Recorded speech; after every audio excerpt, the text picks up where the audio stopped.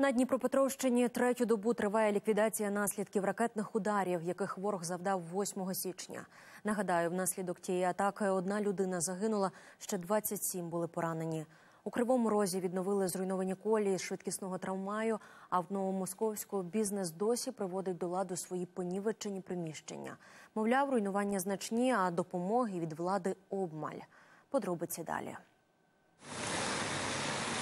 На узбіччі досі лежать величезні шматки металу. Вибуховою хвилою їх скрутило, наче картон. 8 січня Новомосковськ зазнав ракетного удару. Очень сильно. У нас даже двері відкрилися в квартирі, ну, в домі. Це за десь за кілометр, так від Так, Так, да. Километр півтора.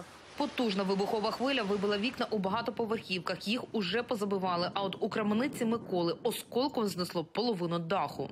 Дірка ось насквозь була, бомба сюди прийшла. От от ми поміняли, купили друге, бачите, поставили. і все самотужки. Самотужки. Такі, а в мене, в мене, в мене просто немає грошей таких великих. Розумієте? Кришу роз- розірвало, ми там пів, пів криші заложили. А пішли далі, подивитися, що там осталося. Микола каже, йому, як приватному підприємцю, безкоштовно будівельних матеріалів на ліквідацію наслідків не дали. Нині все ремонтує власним коштом. Комісійний магазин і перукарню довелося тимчасово зачинити. Парикмахерська, вон вход і манікюрний кабінет. Все повивалювало. Микола йде знімати з банкомату пенсію свою та дружини, аби вистачило на ремонт. Я це получу. Жінкину і свою. Получу і купимо ДСП, найму машину, щоб привезли, пригласю своїх робочих, мужей їхніх. Да? Вони мені це поможуть, буду са- сам я тут нічого не можу зробити. Ну сам, ну один.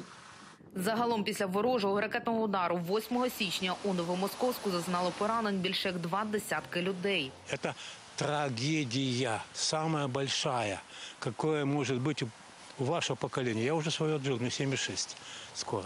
Більшість поранених потрапили до місцевої лікарні. Досі в медзакладі залишається двоє пацієнтів. Планується е, виписка з, е, з терапевтичного відділення постраждалої на завтра.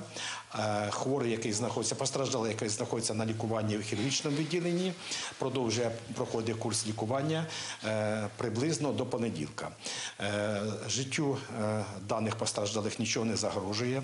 Е, Хворим проводиться лікування, надається психологічна допомога е, лікарям-психологам. З Дніпропетровської області Олена Мдалюк, Ярослав Засоба, подробиці телеканал Інтермарафон. Єдині новини.